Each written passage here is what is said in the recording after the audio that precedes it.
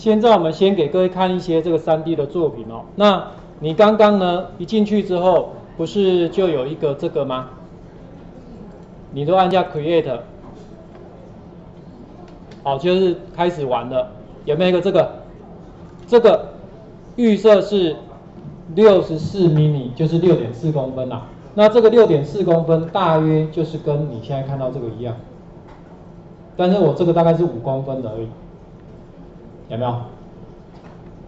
是我们小朋友自行去做的，好，就它六个面都有用。那你现在看到这些呢？像这些都是三 D 列印的作品啊，这个是多媒体的时候有跟一些电子零件做结合，像这个也是，像这个。做马达的，那像这个呢，我就是用我们这个三 D C H 做的，后来我还做成可以拆开的版本，像这样子我可以拆开，因为可以挂这边，也可以挂在另外一边，有没有？这样了解？好，就是可以拆开，然后呢，像这个，这个乐高的正版的，正版长这样，它。蛮好玩的，你们乐高应该都玩过，有没有？拆开是变这样，那你把它结合起来，是不是就是一个爱心？对不对？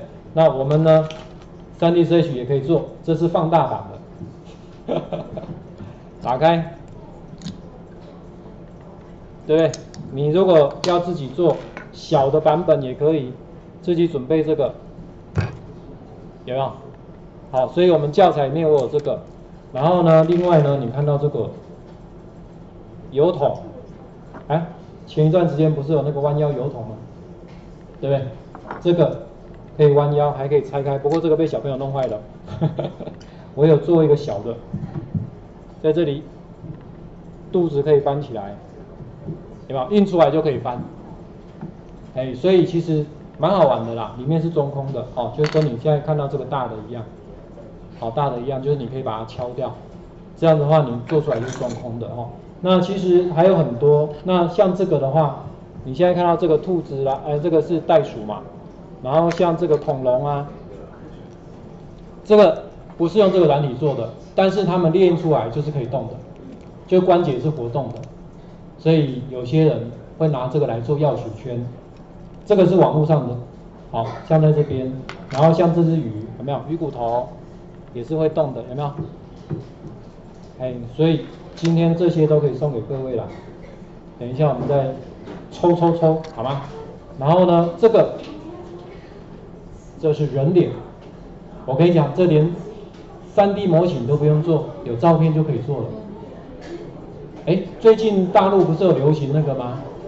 有流行那个把电影的那个主角脸换掉，换成你自己的，啊有没有？但是有人说那个是。有一些问题的，哦，就是有各自隐私权问题的，像这个就是人脸的，这是连模型都不用，就是只要有照片就好了。那印的过程就像这样，里面是中空的，哦，那我们 3D 列印的其实也是像这样子，中间的过程啊，因为这个都是印坏掉的哈，印坏掉，所以我们大部分里面不会用实心的，因为实心的比较浪费材料，印的时间比较久嘛，好，所以我们就会像这样子把它印成中空的，好，印成中空的。